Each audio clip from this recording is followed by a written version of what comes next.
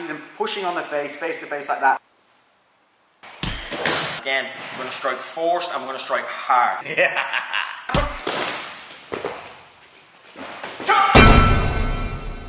What's up guys and welcome to episode 2 of Street Fight Survival and I'm back here again with the one, the only, Hazard, Harvey. Full and willing to hurt me all over again. Oh yeah, anytime. So it turns out I'm bad guy number one for the entirety of the series. Yeah, the whole thing. And what this series is, is basically a look at taking some real life MMA strategies, fight strategies, and putting them into play to help keep you guys safe on the street. Yes, and we're going to do that as effectively and as safely as we can. In two forms, we're going to give them the break and escape, which is where you're going to be able to get out of your situation and move away without having to deal with any actual face-to-face, hand-to-hand conflict. And then there's also going to be The Break and Batter, my favourite series. which is where you've got no other choice but to keep yourself safe by either putting someone down or putting someone out of action to the state where you can then escape and keep those and yourself around you safe. Yes, most definitely. So throughout this series, chances are I'm going to be the bad guy, Hazard's going to be the good guy, and he's going to show you what you need to do to create that safe space or to end a dangerous situation and keep you and the people around you safe. So scenario number one, and we've probably all been there or definitely seen it. You look up and someone's squaring up to you. So starting with the square up, what we're going to have is the usual. I'm going to be stepping up, I'm getting into his space. So I'm the aggressor, I'm the brawny one, I've squared up to Scott. He doesn't know quite why at this point. Maybe it's because his beard's too goddamn beautiful. So I'm not having any of it. A lot of times you'll see them pushing on the face, face to face like that, but we're square up, hips to hips, shoulders to shoulders. What's your initial initial impact here? So, initially I'm going to look to try split my stance. I don't want to keep my feet square like this. I'm going to have to stagger my stance, okay? If my feet are square like this, if there's any sort of impact, no balance. I have no balance. Straight away, I step off that centre and bring one leg back. From here, I'm going to put my left hand on his chest. I'm going to keep this right hand nice and nice and tight like this, okay? I don't want to keep my hand on my side. And rather than instigating some sort of aggression from I'm going to look to just hold him in place and step out of range. Okay, from here, again, keeping my hands aware and just being aware of my surroundings. We give ourselves that real easy ability to just slide back, keeping our balance and also dealing with any forward pressure. So there you have it, a real simple way of getting yourself out of that danger zone the moment someone squares up. That's the break and escape.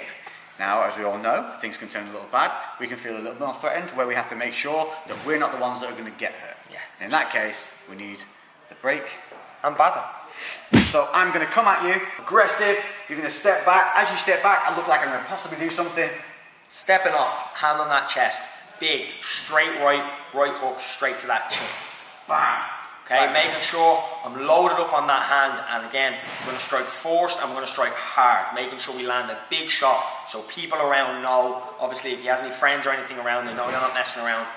Big hook, straight away, sliding out of range again. You're going to look for that step back, load that weight on the back foot, and just make sure it's a strike and move away.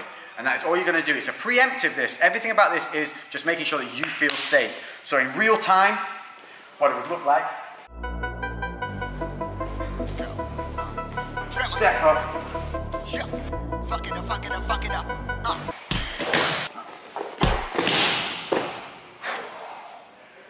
Oh, it works. That works. Okay. So hopefully what's happened is, is you've been able to escape and break away, but we know often that isn't the case because in streets, often what can happen? Uh-huh, okay. A lot of times you'll see it's a cheeky shot from behind, a friend comes in and hurts you when you're trying to defuse a situation. What's your option? Me, straight away, I've got to check my peripherals, see how many people are around me and where they are. Secondly, I'm making sure I can get myself you know, back on some. So immediately, I'm looking back myself up towards a wall. This allows me to obviously see who is coming around me. Yep. It covers my back to make sure no one's coming from- behind me, and also allows me to see exits. I'm going to need to see exit options here because obviously I can't hang around. This is our only option. Back up against the wall, hopefully the situation diffuses. Yeah. Hopefully, you can see an area to get out, and then obviously disengage yourself from that situation and stay safe. But obviously now you have your back against the wall, and this one, rather than the break and batter, we're going to do the break and avoid the batter because you've got a couple of guys coming at you, and your main goal is to get out of there. So, Yeah, we got to make sure we get out of here without taking any damage, okay? So in this scenario here, we've got no options. We've got to try to get to an exit fast, okay? So from here, I'm going to eye up who's in front of me, and I'm going to look for the weakest link. Think we know who that is, okay? So from here, I'm gonna look to sprint off this wall as fast as I can, shoulder barge straight into them, similar to a spear, just shoulder barge straight them. The final one we're to take a look at today is the worst case scenario, and that's that maybe there's been a kerfuffle, something's going on, but at the end of it, what has happened is you've been pushed and ended up On the floor. So we've ended up on the floor, and that is the worst place we want to be. Our goal here is to simply get back to our feet and get back to safety. So, We've ended up here, okay? It's very, very important that we get back to our feet as fast as possible and as safely as possible, okay? So what I'm gonna look to do is I'm gonna look to use my legs to maintain some sort of range. I'm going to post up on my hand, okay? From here, I'm keeping my other free hand free to block any opposing strikes, anything that could be coming at me, just looking to protect my head, okay? From here, I'm gonna lift my hips up. I'm gonna bring my leg back. And I'm back to my feet, nice and safe. so we've had the break and escape, and as always, break and batter. Again, we've got to make sure we're getting back to our feet here and we might not have much space to do so, okay? In order to maintain that range, I'm going to look to use my free leg to strike as hard as I can on that knee joint. Go straight through it, okay? From here, posting up on that hand, same thing again. Lifting those hips, big back step, and disengage. So in real time, so you guys can see what it'll look like. Comes in, pushes you, gone down, I'm coming in hard. Mate.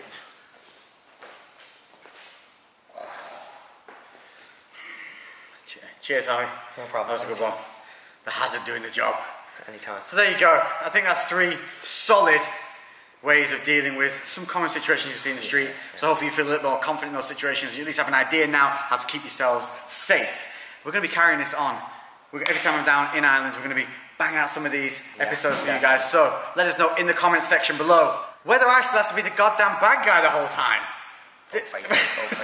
and what else you'd like to see. Make sure to hit that notification bell. Make sure to check out Hazard Harvey on all his social medias. Links will be in the description and on the screen here. Thank you very much again. No An problem. Absolute pleasure. Anytime to Um, be good. Anytime. Brilliant. I'm really happy we started this series. We'll see you in the next one.